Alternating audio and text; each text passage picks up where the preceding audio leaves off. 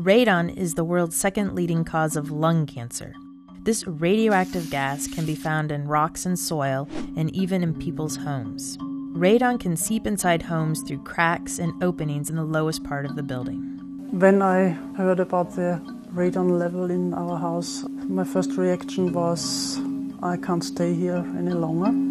The IAEA helps countries take action to reduce health risks caused by long term exposure to radon. You can ask your national authorities, local authorities, or radon laboratories on advice how to measure radon and reduce radon levels.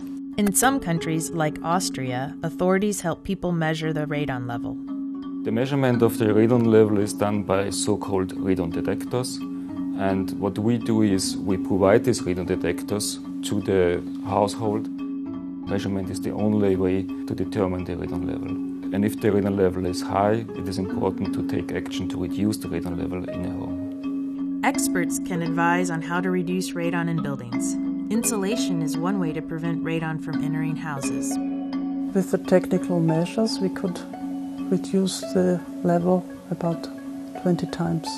The IAEA provides guidelines and trainings to support countries to protect people from radon.